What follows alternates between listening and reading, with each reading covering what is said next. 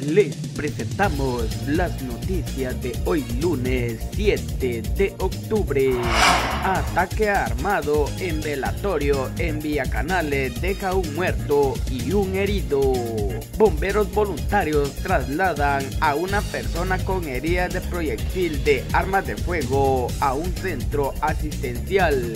Bomberos reportan la muerte de una mujer por heridas de bala en Vía Las Mercedes Villa Canales.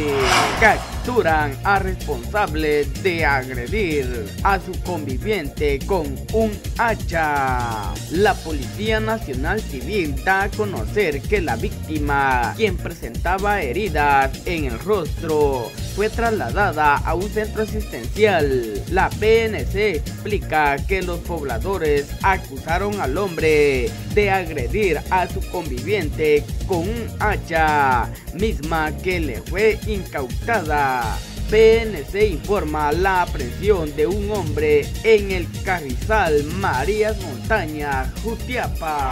Evalúan daños causados por inundaciones en Teculután, Zacapa. La Coordinadora Nacional para la Reducción de Desastres con Red informa que lluvias causan inundaciones en viviendas en San José Teculután, Zacapa. Con Red lleva a cabo acciones de respuesta para atender a las personas afectadas por las inundaciones.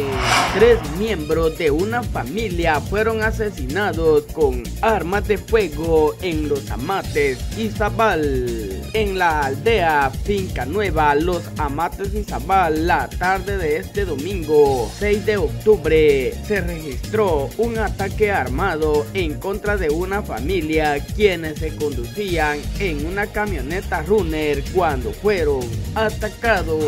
Huracán Milton se intensifica en el Golfo de México y alcanza la categoría 3. El Centro Nacional de Huracanes de Estados Unidos informa que el huracán Milton de categoría 3 mantiene vientos máximos sostenidos de 195 kilómetros por hora. El gobierno de México pruebe vientos de 100 a 120 kilómetros por hora, oleaje de 3 a 5 metros de altura en las costas de Campeche y de Yucatán, así como vientos de 60 a 80 por hora, con oleaje de 1 a 3 metros en Tamaulipas, Veracruz, Tabasco y Quintana Roo.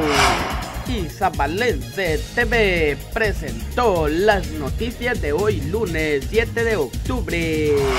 Informó Orlando Ramírez para Isabalense TV y Radio Feilo.